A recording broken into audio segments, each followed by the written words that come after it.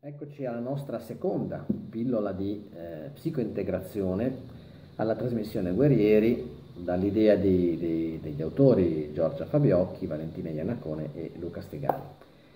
Nell'ultima puntata della trasmissione noi abbiamo visto di nuovo la storia di Luca. Ehm, Luca, eh, la riassumo brevemente, ha avuto questo decreto del tribunale per cui è stato mandato fuori casa ed è stato tenuto fuori dalla sua abitazione per un discreto numero di giorni.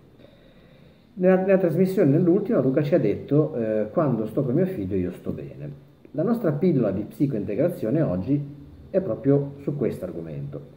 I bambini come cura per i genitori. Quante volte abbiamo sentito dire quando sto con mio figlio sto bene, stare con mio figlio mi fa stare bene. Ora, questo non deve succedere. Eh, il genitore mh, non può e non deve trovare nel figlio il suo benessere personale. L'adulto è portatore di benessere per il bambino e non può essere il contrario. I figli non possono diventare una terapia per i genitori.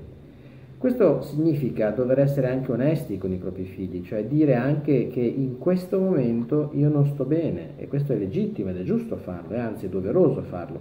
Dobbiamo essere espressivi nelle nostre emozioni, nelle nostre comunicazioni con, eh, con i figli. In altre parole, noi possiamo dire ad un bambino in questo momento io sto provando un profondo senso di dolore, un profondo senso di malessere, perché sta accadendo questa cosa.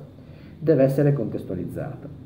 Deve essere contestualizzata nel modo giusto, cioè bisogna parlare in prima persona, dire io, non dire il papà o dire la mamma, ma io in questo momento sto provando questa emozione perché è successa questa cosa, che significa che io posso essere triste in questo momento perché accadono delle cose tristi nella mia vita ed è giusto che io insegni a te, figlio mio, figlia mia, che la tristezza fa parte della vita. Lontano da tutti i criteri di educazione e di pedagogia e tanto più di salute psicologica e psichica è utilizzare i figli per stare bene. Altro punto importante è l'uso della parola. La parola deve essere mirata, deve essere corretta, deve essere giusta, perché ricordiamoci che è la parola che genera il pensiero e non il contrario. Un genitore deve anche saper parlare in maniera adeguata. Grazie e alla prossima pillola di psicointegrazione.